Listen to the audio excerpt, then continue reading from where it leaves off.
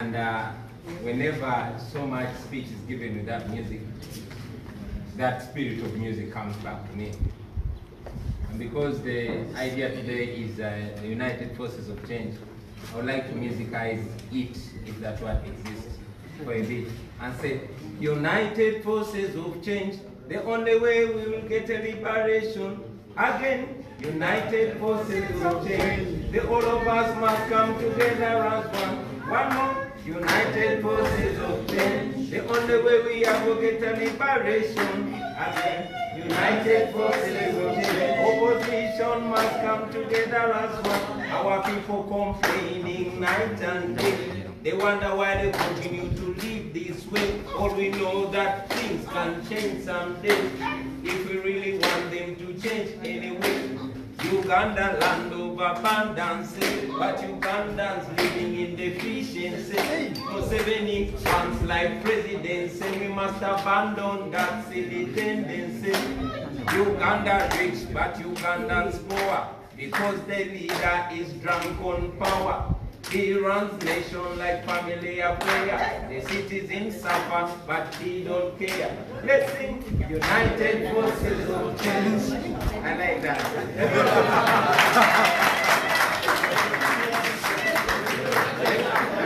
Let me also say this in respect to all the formations. And I'll say, whether you are JEEMA, whether you are DP, whether you are NRM or you are FDC, whether you are CP, whether you VC, whether you are ANT, bano eggwanga balimalawo abanyazingata abantu bali mu na njala bwe twekata ne tugoba abaana bajega tusobola okutaasa eggwanga you very much. Um, Dr. Kizza Besigye and the People's Government and all the composing formations in the People's Government, uh, the leadership of the People Power Movement and all the composing formations of the People Power Movement. Fellow leaders, ladies and gentlemen, I am privileged to once again be alive when we take this monumental step. We come together as uh, the United Forces of Change. But before anything, I want to salute our elders who saw the way, went that way, and showed us the way. In particular, I want to salute you, Dr. Besigye. I want to salute John Ken Chams, the man. I want to salute Lord Mayor. I want to salute Dr. Zidriga. I salute you, Mzee Bilizwa, my neighbor, and all of you elders uh, for the inspiration that you've uh, given to us and many other Ugandans over the years. Like my brother Joel said, um, you inspired us to the level that we are on the front line together. So from me and from the People Power leadership, so you know, we respect you, we love you, and we hold you in very high regard. Um, I want to thank the forces of change for seeing it necessary to unite. Friends, we must unite because that is the only option.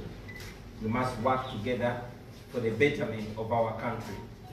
Um, for the masses that have been calling upon our unification, yes, we've been working together, we've been talking like Mzeri was saying, and this that we're doing today is yet another step into the right direction.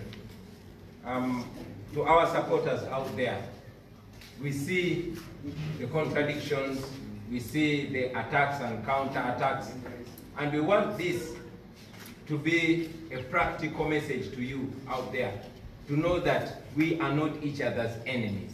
We know our enemy, we know the enemy of Uganda, and that is Museveni and his regime of national shame. So the more we fight against each other, we are delaying the change that Ugandans so desperately want. We hope that this gesture will communicate to all of you friends who want change so badly to know that this country is bigger than your principles.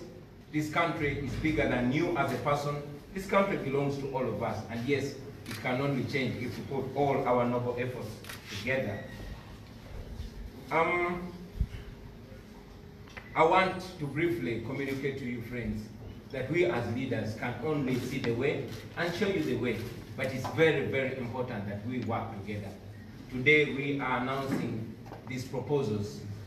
Uh, we are announcing these activities. But again, it's going to take you, friends out there, you, the leaders that are uh, leading besides us, ahead of us, and behind us, to work together and make this happen. Because if we fail, then we shall be sentencing our people to a further, uh, you know, extended period of oppression